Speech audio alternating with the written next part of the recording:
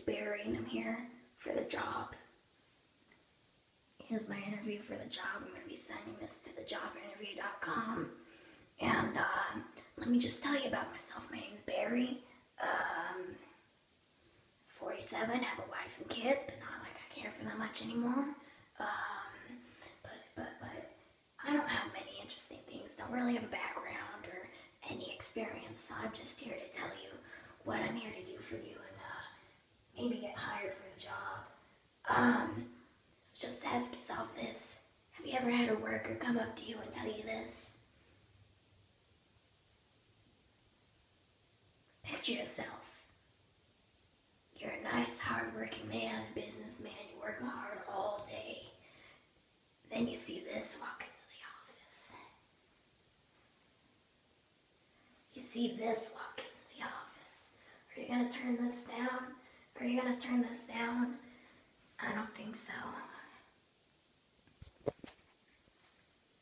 I may have a belly, but I go further than that, boy.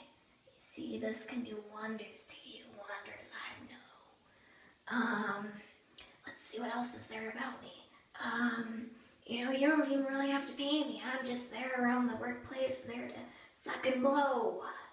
I relieve the tension in the workplace. There's so much tension, you can't get that out with a stress toy. No, you can't. That's why you hire me. You're gonna call me the uh, blowing Barry. It sounds like a tropical trop. Sounds like a tropical punch, but it's not. Cause I'm the blowing Barry, and I'm gonna blow you hard. Um, you know.